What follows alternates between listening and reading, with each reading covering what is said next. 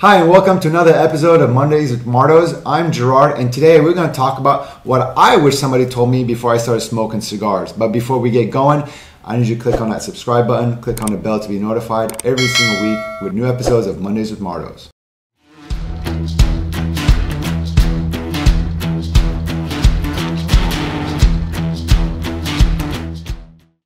All right, so when I first started smoking cigars, I had no idea, no clue of what a cigar was. I didn't know the differentiation from mild, medium to full body cigar.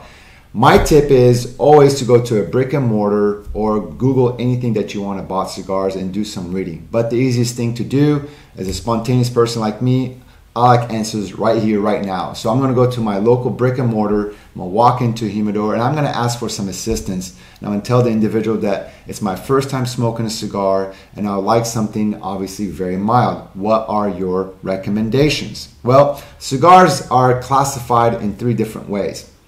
You have the appearance, you have the taste, and then you have the strength. Appearance of a cigar can be very deceiving. Just because it has a lighter shade of a wrapper does not mean it's a mild cigar, so be sure that you ask for some assistance.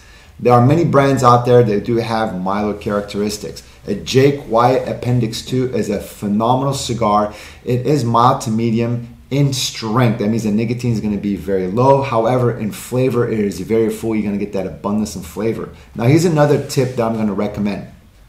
A larger ring gauge cigar does not mean it is stronger. What you're going to get is more flavor because the ratio between the wrapper and the binder and the filler is going to be very equal. So the smaller ring gauge cigar is going to be a little bit stronger and more peppery because you're going to get more of the wrapper, which makes up 40% of the flavor. So if you want more of the sweeter nuances, look for larger ring gauge cigars, anything from uh, I would say 54 and above. You can go all the way up to 80, uh, 80 ring gauge However, I uh, recommend anything between 54 to 60 is very good. Now, moving along to straight from mild to a full body cigar.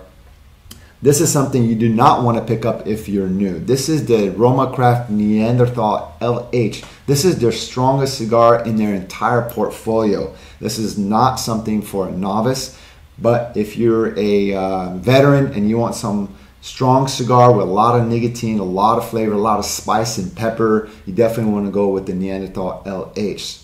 That sums it up basically on how to choose a cigar. Again, um, the world is vast in the cigar industry. There's a lot of different brands out there. Absolutely ask for some assistance at any of your local brick and mortar shop. Now that we have chosen our cigar, we're going to talk about on how and why do you want to cleanse your palate my experience, my first time that I smoked a cigar, I gotta admit, it wasn't very enjoyable. It was very harsh, very, very nasty. I was sitting down with my father. Well, he did me a huge favor, and I'm gonna share that with you guys. It was an El del Mundo. I was taking a couple drags, and I just couldn't stand it. So he went to the refrigerator and he found a tray of cut up cool watermelon. He brought it out to the backyard where we are sitting and he said, Between each draw, how about you take a bite of the watermelon and see if it cools down your palate a little bit? Man, that was it. I was hooked. Not only did it cleanse my palate, also cooled down my tongue and made the cigar smoking much more enjoyable. And I got to see those unlocked flavors within the Rey del Mundo. Now, what we're gonna talk about is how to cleanse and why to cleanse your palate. Why to cleanse the palate? When we eat dinners like ribeye steaks and we finish off with a dessert with high content of sugar and dairy and all these beautiful fats that make our belly very, very happy, well, it's also coating the entire inside of our mouth cavity.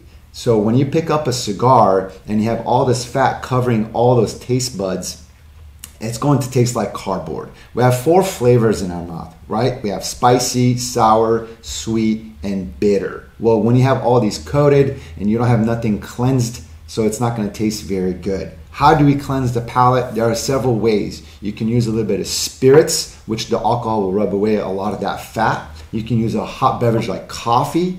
Um, you can use what else? Any kind of soda all these type of drinks that have any kind of base that can cleanse all that fat will be a very very helpful way to cleanse your palate now here's another thing You can also retrohale, and what retrohale does, it expands the flavor buds because, as I just explained, there are four flavors that we can taste within our mouth. Well, when you retrohale, and what you do is you switch the smoke within your oral cavity, you can blow it out of your nasal cavity, and now you can have a thousand different type of scents. So now, not only are we tasting the cigar in our mouth, but we're also getting all those scents through our nasal cavity.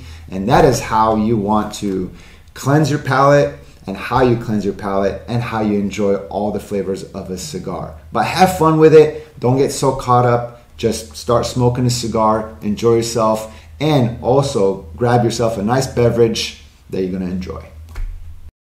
All right, so before we go, there are two more things I want to share with you guys and ladies. If you're feeling nauseous during your cigar smoke, one of the best ways to remedy that is having some sugar within our system. You can find it in a Pepsi Cola or Coca Cola. You want a high content of sugar that replaces the nicotine within our bloodstream and gives us a much better state. Another thing is that if you want to learn more about flavors of cigars, you can Google cigar wheel flavor. This is, has a basically it's a pie graph. It breaks down the different types of flavors in this cigar. So this does conclude our video for this week. Thank you so much for watching. Remember, let us know what you think about about how to taste cigars and how you enjoyed your first cigar ever in our comments. I'm Gerard. I'll see you next week. And remember to follow us on Instagram, like us on Facebook, and subscribe to our YouTube channel.